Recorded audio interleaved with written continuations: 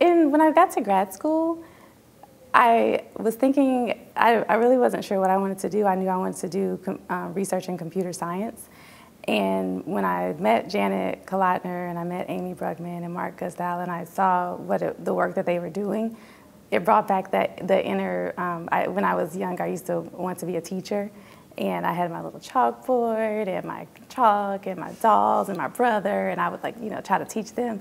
And um, but but when I got older, I wanted to do math and I wanted to do computer science. So I came into grad school as a computer scientist. But then once I saw the learning sciences, that I could design technologies, that I could understand how people learn, that I could, um, you know, work in learning environments and things like that, it just seemed like it was the perfect career for me.